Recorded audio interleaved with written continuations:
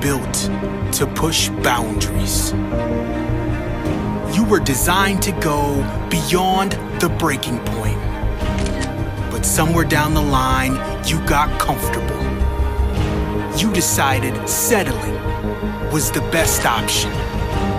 There are no comfort zones on the path to success. There is no wait once you see an opportunity. In this life, we don't walk around our fears. We grit our teeth, we run over those fears. So show me where you come from. Where risk is taken and the pride is won.